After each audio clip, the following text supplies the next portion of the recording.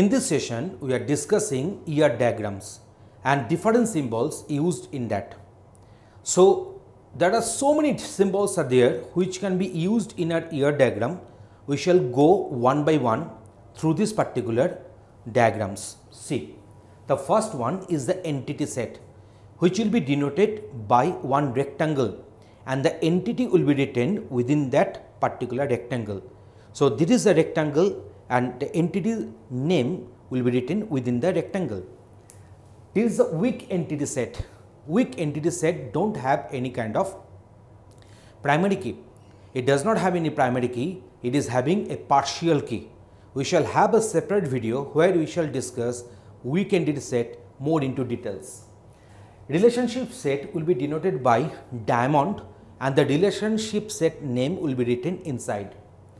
Identifying relationship will be denoted by this double diamond and this identifying relationship name will be written inside.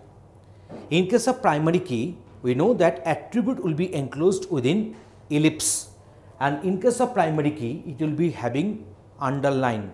So, A attribute name and it will be underlined. In case of many to many relationship, there will be no arrow across these edges so, in case of many to many relationship, there will be no arrow across these edges. In case of one to one relationship, there will be arrows on both directions as it has been shown. In case of many to one relationship, there will be arrow from many to one. So, obviously, in case of one to many relationship, this arrow will not be here, but that there will be one arrow here. So, always remember from many to one, the arrow will be directed.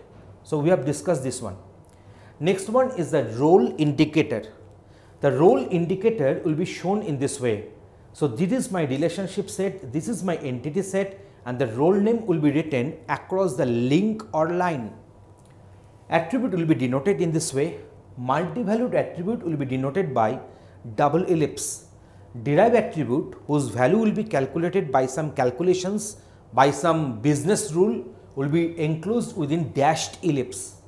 Total participation of entity set in the relationship will be denoted by double lines in between the relationship and the entity. Discriminating attribute of weak entity set that is the partial key will be denoted by A with the dashed underline. Many to one relationship we have discussed earlier. Cardinality limits will be denoted in this way. Here it has been written as 1 dot dot h. That means each and every entity the respective primary key value can exist here for minimum one time and for maximum h number of times. So, that is our 1 dot dot h.